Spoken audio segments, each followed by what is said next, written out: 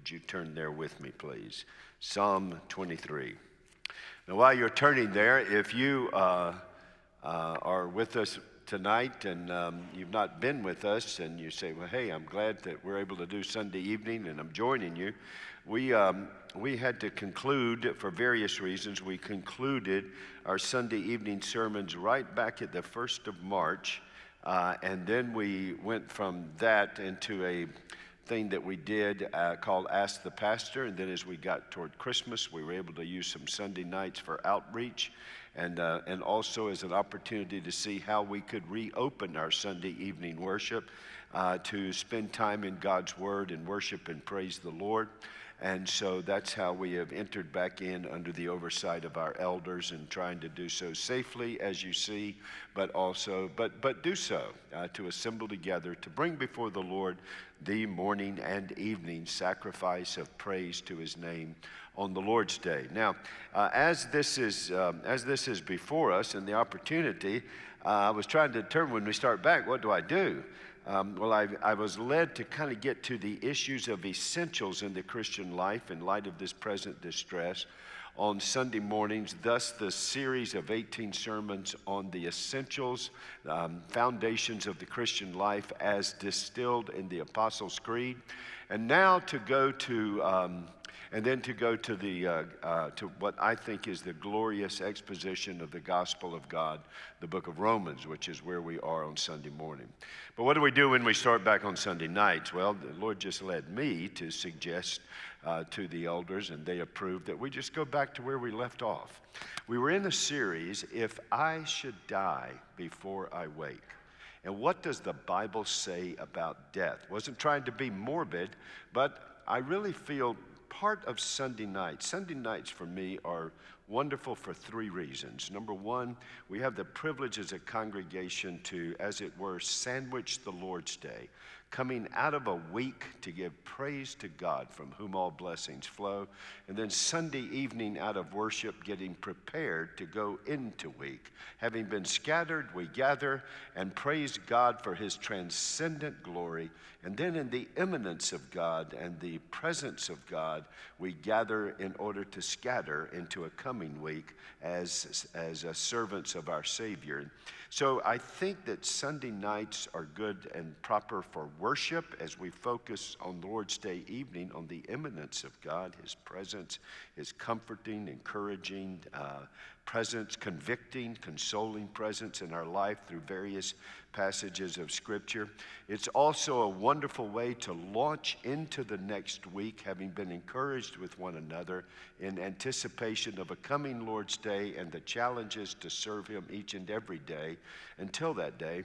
But a third thing that I, uh, and, and, uh, and also that we can use Sunday evening for outreach opportunities as we have all during the Advent season. But one of the things that I love about Sunday evening is it gives me a chance to do expositional preaching on Sunday morning, as we're doing in Romans, and then to do topical expository preaching on Sunday night. In other words, in your Christian life, I want to be part of discipling you. Now, I may not be leading a small group of discipling you, nor may I have a one on one with you, although I'm available for one on one and uh, in meeting with you from time to time, of course. And then, uh, and then I have a number of small groups, but that's probably not my area of focus. But I believe that the preaching of God's word on the Lord's Day morning and the Lord's Day evening is an essential part of discipleship. And what I like to do on Sunday nights is to take not simply the themes that come up through expository preaching on Sunday morning, but to find themes that God's people are grappling with are dealing with, then go to texts of expositional explanation of those themes. So you build it into people's lives on certain issues. Well, what happens when you die is an issue, isn't it? In Charlotte, I had this wonderful couple that I had the privilege to pastor. And, um, and I remember when their 12 year old boy um, contracted a brain tumor, and we pastored and worked with them all the way through it. And uh, the Lord called this young boy home at age 12. I remember being in the hospital with him. And I remember this father and mother uh, hugging him and then telling him, It's okay. He was struggling so much. I said, It's okay. And then I saw Nathaniel just go right into the presence of the Lord with a pleasant, um, just a look on his face that showed the anticipation. And then I remember his mother turning to me Pastor, where and what's happening for him right now? Please tell me. Please tell me. In this congregation, not many years ago, there's a fine young woman. I didn't get permission, so I'm not going to use her name, but she also fought uh, a battle with what was anticipated to be terminal cancer. And um, what a great warrior for Jesus. And, um, and I remember um, her family was here, her father and mother were members of the church here, and are, are members of the church. Her, uh, she was, and she and her husband and her kids. And just a great privilege to be her pastor. And I would make visits and talk with her from time to time. And, um, and she was relatively young. And so she sent word, um, I think it's getting close. Could we talk again? And I said, certainly. So I came out. And um, and as I sat down, she looked at me eye to eye and she said, Well, Pastor, time's come. Pastor, I got some ideas, but I'm asking you now what's going to happen after my last breath? What will happen next? Now, I know all the answers, I know the quotes, but can you just give me some insight? What's going to happen? Of course, we've got some folks in this church that uh, are meeting the Lord and they're on their way to meet the Lord, and I go to meet them and they say, Well, Pastor, let me tell you what's going to happen. So I've got that too uh, as a pastor. But that's, that's part of discipleship, is how does the grace of God give us direction? How does it undergird us? How does it lead us, as the Heidelberg Catechism says, as our only comfort in life and death. How do you do that? How do you deal with that? And what do we expect? And what should we expect? And what has God said? And what has God promised? So, one of the things we did, we started this series, and I purposely took the title from a childhood prayer. Many of you had the same prayer. Now I lay me down to sleep. I pray the Lord my. That's a very important, theologically accurate statement your mother taught you. I pray the Lord my soul to take. If I should die, there's our title, before I wake, I pray the Lord my soul to take. Where? What will it be like? What's going to happen. This is not the time for pastoral flights of fancy. This is not the time for platitudes. This is not the time for sentimental efforts to comfort, as well meaning as they may be. We want to know what does God say to us? What does God reveal to us? So we started and we went through three sermons together.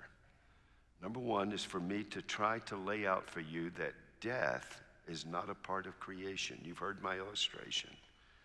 the man that called me and said, You know, Pastor, I'm, I'm, it looks like I'm going to be dying soon, uh, but would you pray that I'll have a, a natural death? And I told him, I said, No, I'm, I won't.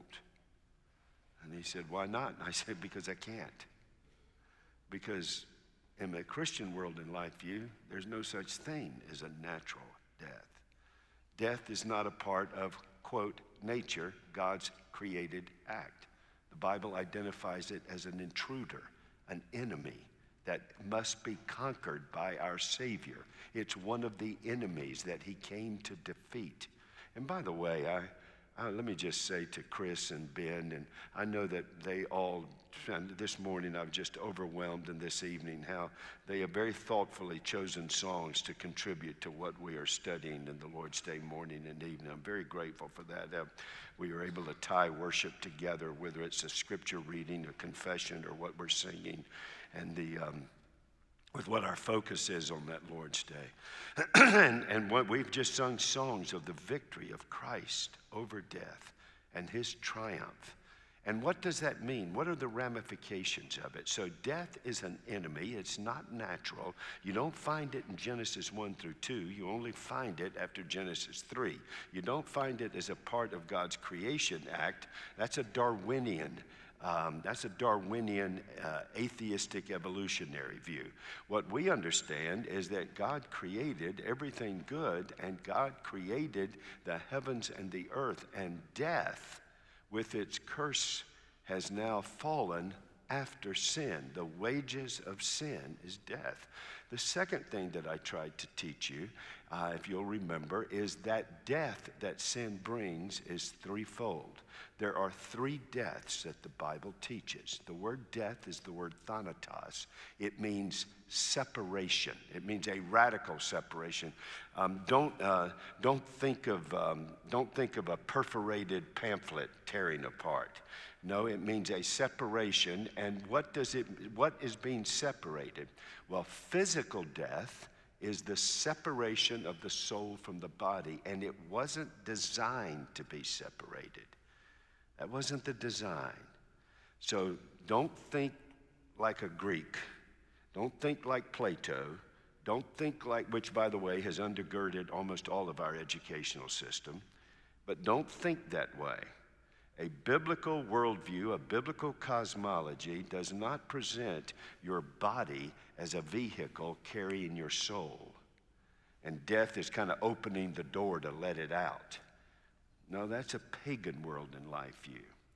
A biblical world in life view is God made the body of Adam, and then he breathed into that body a soul, a living soul, and he became a living soul.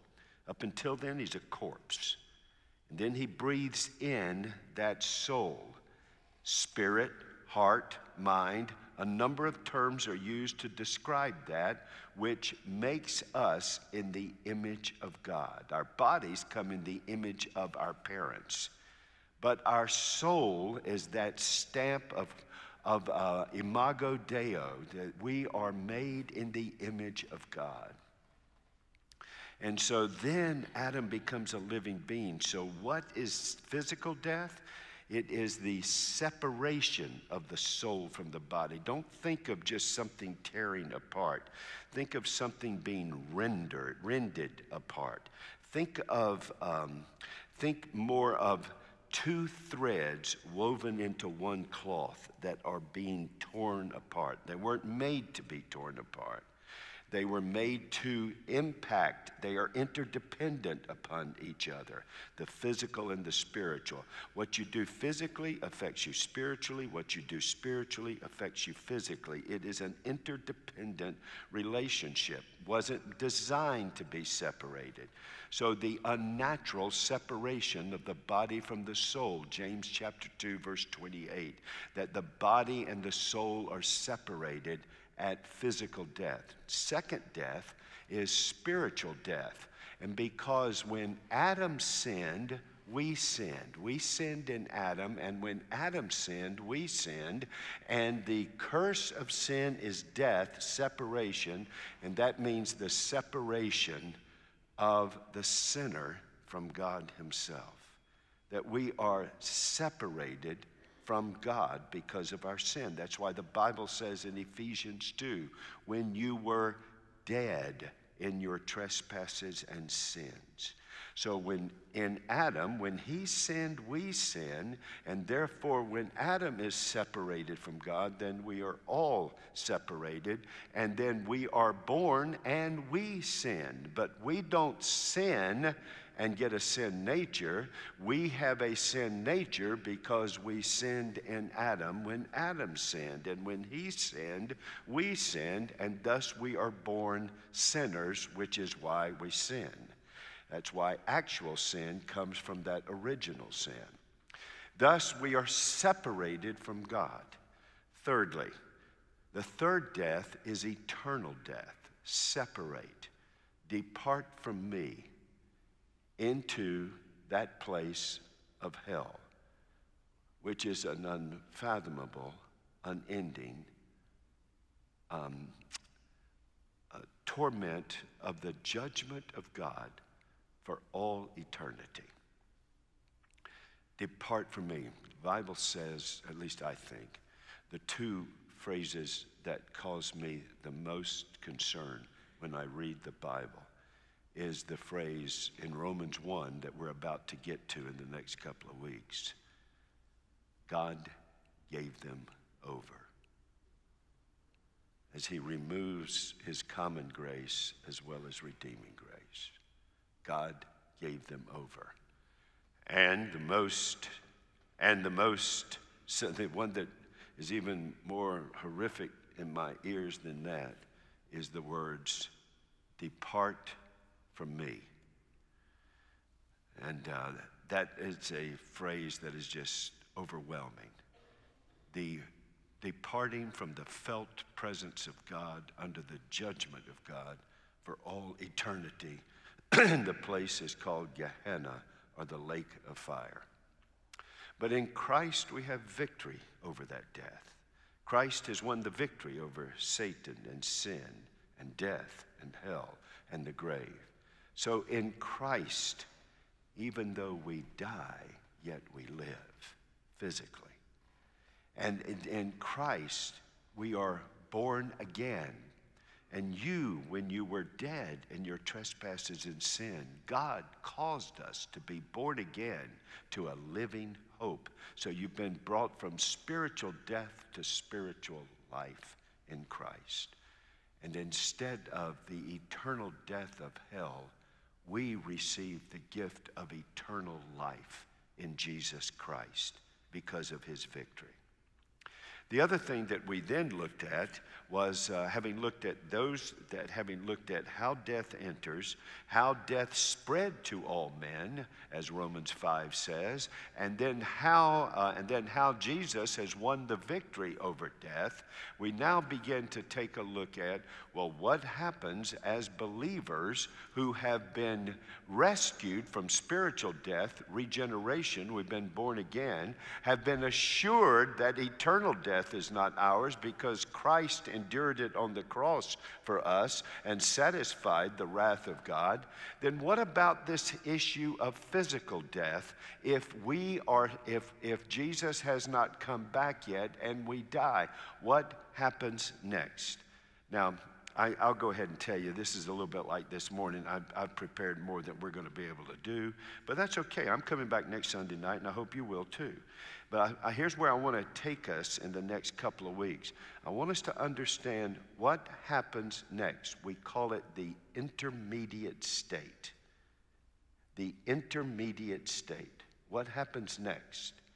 Secondly, that's probably going to take us this week and next week. Then I want us to look at what about our final state? What is our final state? And then, thirdly, what about unbelievers? Their intermediate state and their final state, which means we need to, we're going to get to the doctrine of the new heavens and the new earth, the final state, and the doctrine of hell, Gehenna, and that is the final state for the unbelievers to try to understand what the Bible says about that. But where we are right now is when we die, we move to what our theologians have rightly called an intermediate state, meaning it's not the final state. But what is that state?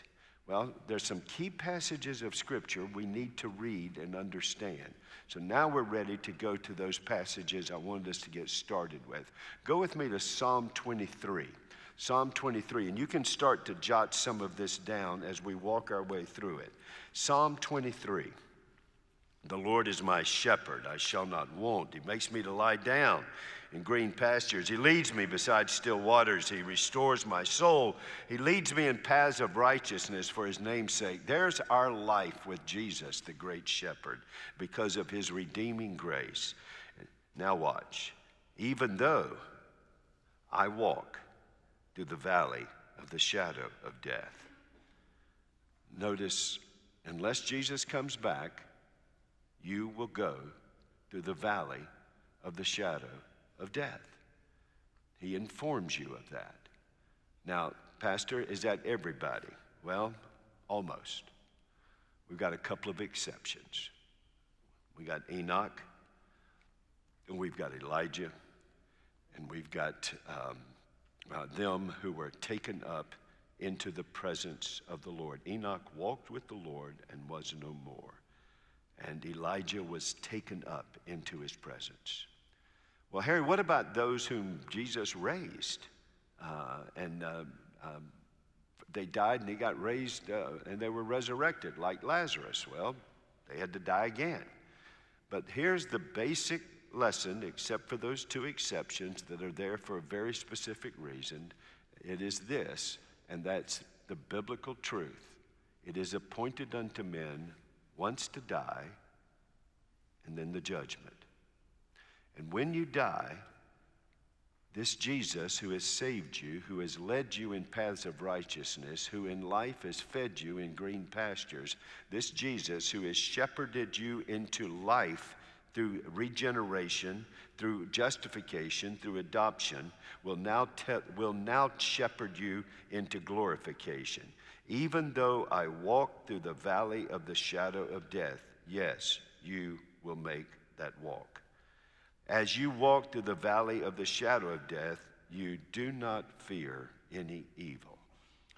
And one of the ways he's trying to communicate that to you in your last breath at death, you are encountering the shadow of death. You know, it's very interesting. Please listen now. There, it's very interesting how the Bible is trying to keep communicating to you that Christians will die unless Jesus comes back first. But when you die, your death is different because of the victory of Jesus. One of the ways that's communicated is with a euphemism for death that is used for believers. Jesus used it. I'm going to the text in just a minute. Jesus used it, and when he talked about Lazarus falling asleep. And they said, Well, if he's asleep, then what's the problem? He said, No, no, no. He, he's dead. But what I'm telling you, this one's a believer, and he calls his death sleep, not because of an exotic notion of soul sleep. What he's trying to communicate with a euphemism is that the death of a believer does not have evil attached to it because, for the, because of the victory of Christ, the death of a believer is the transformation and translation of the believer into the presence of the Lord just like you come out of a tiredness into sleep and then into a new morning. That's why he uses that euphemism. Here, he's using something else. Death, he called the death of a believer, he, he calls it a valley, but he says it's a shadow. I love the way Donald Grey Barnhouse explains this. He said to his grandson one day when he was doing a funeral, and his grandson asked him about this text about what does it mean, the shadow of death? And he said, Well, look, and there he was riding through the streets of Philadelphia, and this gigantic truck pulled up beside them in the noonday sun. And when the truck pulled up, the shadow of that truck just engulfed their car. And he said, Son, that truck that just pulled up, it's now dark, isn't it? Why? Well, because the shadow is over us. So the shadow of that truck has hit us, and we hit that shadow, but we're okay. Now, son, if that truck hits us, we're not okay. Apart from Christ, death hits full force with all of its evil. In Christ, you go through the shadow of death, but he's not through. Now look at what else he says. That I will fear no evil, for you are with me, your rod and your staff, they comfort me. So at death, last breath, there is no evil for the believer, it is translation. And therefore, eh, you go through the shadow of death. Then he says, you don't go through it by yourself. I'll be with you. I remember when I was down at Richard's Barbecue for a meeting on a Monday, I mean, I'm sorry, on a Wednesday morning. And Curtis Tanner came down to get me and tell me that my father had just died. And I remember when I went up to take care of things in my home and the service and everything, I remember one thing that struck me as I would, uh, you know, I, I, really wished I could have been there with my dad, uh, to be with him at that moment, just to be there for him and with him. But one thing I was greatly comforted with, uh, I was, um, I couldn't be there, but the Lord was. The Lord will be with his people at that moment. You don't go through this valley alone. He is walking with you through it. His staff and his rod are comforting you. Now, when you walk through it, where are you headed? Well, here's what he says You prepare a table before me in the presence of my enemies. My, you, um, you anoint my head with oil. That's the anticipation of that baptism with the Holy Spirit every believer receives that seals us into Christ. The Spirit of God has been poured out of you. You have table fellowship with the Lord here and into eternity at that glorious marriage supper of the Lamb. Surely goodness and mercy shall follow me all the days of my life. Well, what about after that? I will dwell in the house of the Lord forever. Well, now we're ready for that second text. Take your Bibles and go with me to John 14. We're going to dwell in the house of the Lord, the Lord's house that's prepared for us for all eternity. Would you go with me to John 14? Now, folks, we're doing this step by step. I'm fully aware I can't get it all done tonight. This is one of those I'd give anything to be able to have a captive audience uh, for two weeks. I can't, but, um, but we'll try to uh, keep you uh, building on this as we move into next week. Here's what he says in John 14 Let not your hearts be troubled. Believe in God, believe also in me. In my Father's house are many rooms. If it were not so, would I have told you that I go to prepare a place for you? And if I go and prepare a place for you, I will come again and will take you to myself, that where I am, there you may be also. You know the way to where I'm going. Thomas said to him, Lord, we don't, we don't know where you're going. How can we know the way? And Jesus said to him, I am the way, the truth, and the life. No one comes to the Father except through me. And if you had known me, you would have known my Father also. From now on, you do know him, and you've seen him. Why? Because Jesus is the exact representation for you. He has manifested the glory of the Father in your presence. But now, what is he saying? I've got to go. Uh, he says, I know you're fearful. I know you're troubled about all of this, but I've got to go because when I redeem you here, I've got to finish re- work, the work of redemption on you. I have done the work of redemption for you. Now, when I go away, I will do the work of redemption on you by the Holy Spirit to bring you to be with me. Therefore, I am preparing a place, my Father's house. I am preparing a place for you. And what makes it glorious in heaven? You'll be with me. You will be with me forever. Now I'm going to come back for you. But if you die before we get before he comes back, then I'll bring you to be with me. I'll be with you through that moment and I'll take you to be with me. and we will dwell in the house of the Lord forever. That's what will happen. Well, if He is going to bring us to be with Him, and what makes heaven heaven? Now, I know some of you are going to ask me, and I promise you I'm going to talk about it.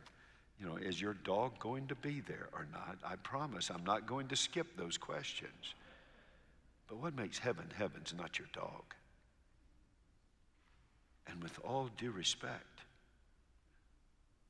what makes heaven heaven is not even our loved ones.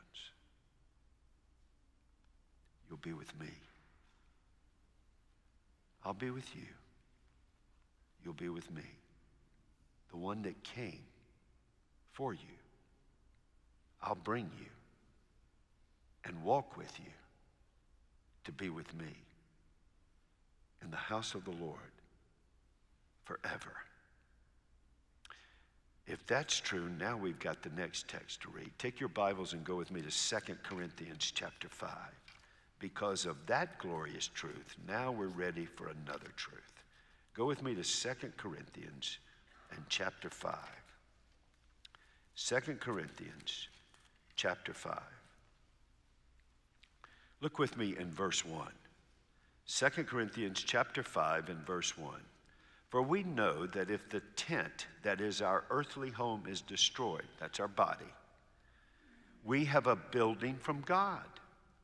God is preparing a place, a building for us. This is a house not made with hands, eternal in the heavens. For in this tent we groan. when you get my age, you even do a lot more groaning. So there's some groaning in this tent that we're doing, longing to put on our heavenly dwelling. If indeed by putting it on, we may not be found naked. For while we are still in this tent, we groan, being burdened. This tent is constantly enduring the physical consequences of the curse of sin sickness, pandemic, COVID 19. All of this is here because of the curse of sin, even death itself. And we long to be unburdened by it and to set this cursed tent aside.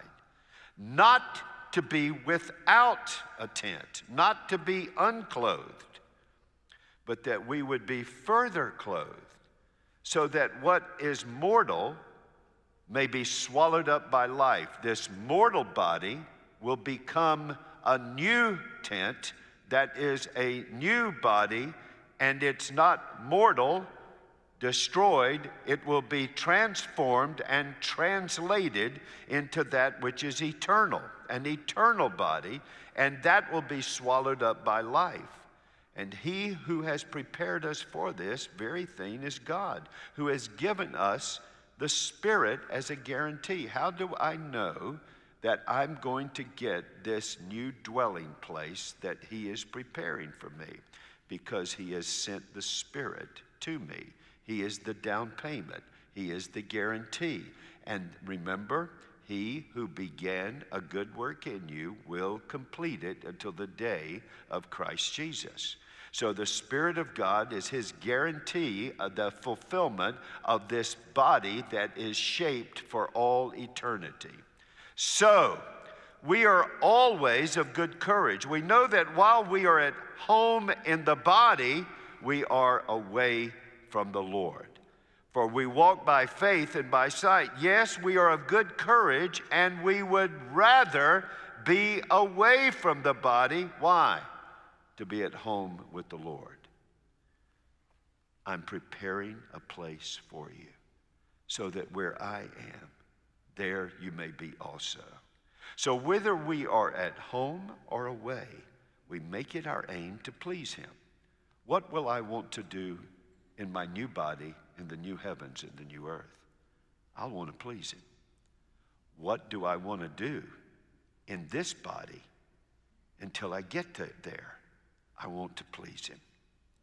For we must all appear before the judgment seat of Christ, so that each one may receive what is due for what he has done in the body, whether good or evil. Now, so remember the other, it's appointed to men once to die, and then the judgment. Who's going to appear at the judgment? Everybody.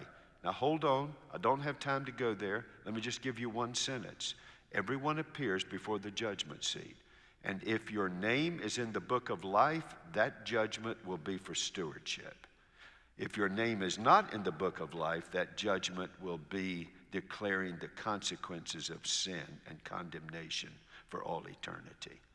For the believer who is in the book of life, they will be, that judgment is for stewardship of our life in Jesus Christ.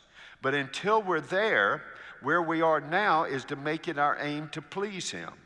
Now, remember one more text I want to ask you to go to for tonight, and that's Philippians chapter 1. Would you go there with me? Philippians chapter 1.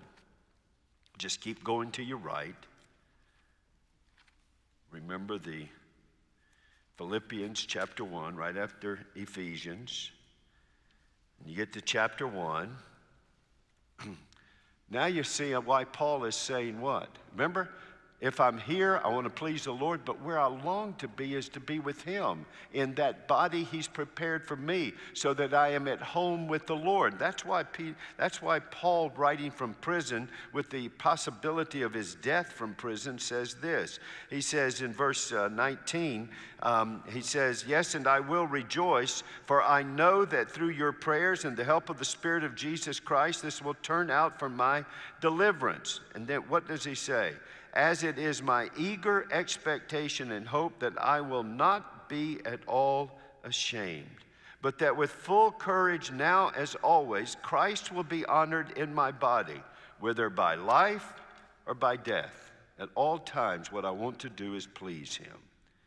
For to me, to live is Christ, to die is what? Gain. To die is gain. If I am to live in the flesh, that means fruitful labor for me.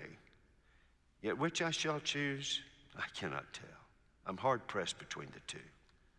My desire is to depart. Why? I'll be with Christ. Now, Christ is with me by his Spirit, but then not by faith, but by sight. I'll be with him. For that is far better. Remember, to live is Christ, to die is what? Gain. Far better. Far, but not just better, far better. And then what does he say? But to remain in the flesh is more necessary on your account. Convinced of this, I know that I will remain and continue to be with you all for your progress in joining the faith, so that in, you, in me you may have ample cause to glory in Christ Jesus because of my coming to you again. In other words, what he's saying is this Look, I, I am in prison. He could, he could send the death warrant, I could be put to death. I just want you to know that's my desires to go and be with the Lord. But I also have a desire to minister to you. Now, you know, I think what I'm pretty convinced of, he's going to leave me here for your account. Okay, that's fine with me. I love you. But I want you to know if he doesn't, I don't lose, I win. To die is gain. So, y'all will remember I had a series of about eight years where it seemed like I was just going to put the medical community uh, into, um, you know, into uh, orbit with surgery after surgery after surgery. I said to Cindy one time, I think the Lord brought me to Briarwood, Birmingham, so UAB could operate on me for a while. And uh, so I, I, remember that. of course, a couple of them were relatively serious. And, um, and uh, you know, I was talking with Cindy about it, and, and those, my kids, we all talked about it and prayed about it. And I just explained to them, y'all need to know something. If this, the Lord calls me home, if He does, it's okay. I'll miss you, but I'll wait for you. but I win. I don't lose. So if I go under and then go up, I'm okay. That's gain. That's far better. Far better. Now, if he leaves me, that means he's got something for me to do. And that'll be good. That won't be bad. That'll be good. So, one of you who will remain nameless right now came up to me uh, after I left the hospital and said, Well, you seem to be doing well. I said, I am. And they said, Well, you, when you woke up out of anesthesia and found out you were still here, were you disappointed? well, I appreciated the insightful question. and certainly to a sense. But I said, No, I'm not, because God's sovereign. If I'd gone, that would be better. But if I'm here, it's for a reason. Now, what I need to do is embrace that reason and that opportunity. This isn't my demotion, this is my call. I got more for you to do. You see, in the sovereign hand of God, even though we know that dying is better because we're with Him, He made us to live. That's why we don't go out and grab a knife and stick it in our heart. Well, I'm just going to, it'll be better, I'll just go on to heaven. No, we were made to live. That's why even in our last breaths, we're trying to take them. God made us to live for Him. If it's here, Christ. If it's there, gain. That's the way He is laying it out for you. Well, I'm, I'm out of time uh, to be able to walk you through the rest of this. So I'm going to give you a couple of passages of scripture for next week, and you can't miss next week. You can't miss because this, I've only got half of what I prepared for you. So you got to come back for the second half next week. And when you come back next week, I want you to be ready for Luke 16. And I want you to be ready for Hebrews 12. And I want you to be ready, Hebrews 12, and uh, uh, specifically verses 18 through 24. And I want you to be ready for Matthew chapter 22. And then I want you to be ready for Revelation 7, 9 through 17, which gives you what is happening in the intermediate state. But can I anticipate next week in my closing remarks today? From what we've done in laying all this groundwork and this foundation. The intermediate state, in your mind, you're probably thinking, particularly if you've got a loved one that has died, well, they went to the intermediate state. They're not in the final state. I mean, won't the final state be better? Yeah. But the intermediate state's not bad, it's gain it's far better. It's not the ultimate better, but it's far better than here. So, yes, your loved one's far better. Now, listen, I hear people say this all the time. People go through difficult times and say, oh, they've now died. And, you know, they were struggling so much, but praise the Lord, they're just tripping on them, running up and down with the angels on the streets of gold. No, they're not. Not yet. Their body's in the grave. Well, where are they? They're in Abraham's bosom, they're in paradise, they're in heaven. That Hades, that place of the dead, that Sheol has two dynamics torment, intermediate judgment, called the abyss, and blessing, comfort, called Abraham's bosom, paradise, heaven. You remember the thief on the cross? I'm, I'm a little ahead. Please come back. Remember the thief on the cross? Today you'll be with me where? What does Paul say paradise is? He tells us in 2 Corinthians 12 it's heaven. I was caught up to the heavens, paradise. What is Abraham's bosom? Abraham's in heaven. The Bible tells you that in Hebrews chapter 11. It's another way to say heaven. Let me try to say it this way. When I became, when I was growing up, I grew up in the Christian Missionary Alliance Church, and our pastor lived in a parsonage. I got saved in a Reformed Presbyterian Evangelical Synod church. and the pastor's residence was called a manse. And I remember saying to Cindy, who was Southern Baptist when we got married, What is a manse? And she said, Honey, I don't know. It's, but I think it's the preacher's home. I mean, the bulletin every week is uh, go to the manse to meet the pastor's wife. And she said, I think it's a, and I said, Oh, you mean the parsonage? But I, it took me, I had to go to seminary to get this thing straight. I found out it's the same place preacher's house, manse, parsonage, the intermediate state, heaven, Abraham's bosom, paradise, gain, better. What will we be doing? Will we know each other? How will we be able to live when we get to that intermediate state? Okay, Pastor, I'm believing it's better. What will it be like? I'm glad you asked, because that's why we're going to Revelation 7 next week.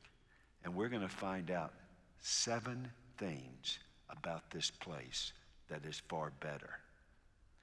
Then the next week, we're going to find out about the ultimate place, the new heavens and the new earth, where we get a new body for the new heavens and the new earth. But, Pastor, that intermediate state, is it bodiless? Yep. Your body's in the grave, it'll stay there until the resurrection. I mean, remember that Apostles' Creed? I believe in the resurrection of the body. I do it time and time again when I do a funeral, and I tell everybody there, hey, reason we're here is God's not through yet. They're in the present, absent from the body, present with the Lord, but God's not through yet. He's going to raise this body for a new heavens and a new earth. But what is that joy that I have? What is that gain I have in the intermediate state? What will I be doing? Well, there are three passages of Scripture, and one of them, Revelation 7, that tell us what it is like while we are there in that intermediate state. And it's glorious. It's better than this. Yet there's more to come. So that's where we will be next week. But here's my question my question is not, are you going to die? Uh, my question is, when you, I hear this, I, I, remember talking with a guy the other day, I was sitting down with him, he said, Well, you know, preacher, if I die, I said, Whoa, whoa, wait, wait, wait, before we go any further in this conversation, would you mind repeating that? He said, If I die, I said, Well, listen, if Jesus doesn't come back first, you are. So here's my question Are you ready?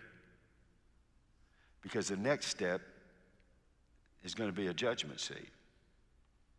So are you ready at that time? Folks, I can't wait to tell you next week of some of the things we're going to be doing in that intermediate state. But this week, I want to ask you are you going to be there with the Lord? If you're going to be there with the Lord in that glorious place of paradise and heaven with the thief and all the Old Testament believers and all of those that have died in Christ since he ascended into heaven if you're going to be there, that means you've got to be in Jesus today. You got to know him. You got to put your trust in him. And you know my invitation to Jesus talk to me. I'll be glad to introduce you. I'll be glad to pray with you. I'll be glad to talk with you. But I want you to be in Christ. That's what makes the intermediate state and the final state the most glorious, We'll be with him for all eternity. New body, new heavens, new earth. The intermediate state, glorious. We'll look at it next week. Let's pray. Father, thank you so much for the time that we've been able to be together in your word tonight. Thank you, Father, for the privilege just to begin to build our understanding from the Word of God about our comfort, joy, and salvation in life and in death. So I pray now that we have, now that we have resumed our study, that I pray first of all that everyone here will understand that while when they die, their body goes to the ground, your, the soul of a believer you do take to be with you. If I should die before I wake, I pray the Lord my soul to take, and it will be gain and better than here. I pray, Father, though, that everyone here has come to you so they will be there with you. And I pray that their heart and soul will be filled to overflowing with the presence of Jesus by his Spirit, with his word now, even as we anticipate a being with him then. Jesus, come quickly. Please come catch us up to the new heavens and the new earth. But if this is not your appointed time, please in this day help us to live with no fear in life or death. For Christ is our life, and to live is Christ. To die is gain. I pray in Jesus' name. Amen. The Lord bless you. Let's sing the doxology to the praise. Oh, there you are, Ben. Great. I was afraid I was going to have to do it. They were afraid I was going to have to do it. So praise the Lord, you're here. And Caitlin, thank you. Let's uh, lead in the doxology. May the, may the grace of the Lord Jesus be with you all. And our Savior is our comfort and our joy in life and in death. And God's people said, Amen. Amen. Praise God from whom all blessings flow. Praise Him,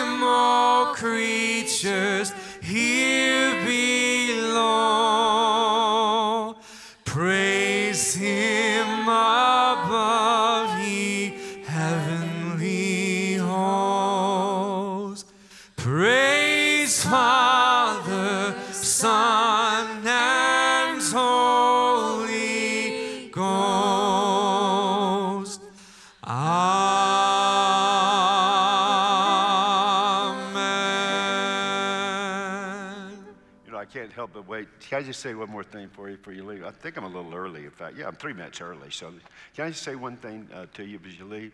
Did you know when we do that in heaven, you're going to raise your hands? That's what the Bible said. Intermediate state and the final state. You're going to raise your hands. So, some of you might want to get into practice. And guess what? They'll be above your shoulders. Well, I don't know that. Y'all have a great week. The Lord bless you.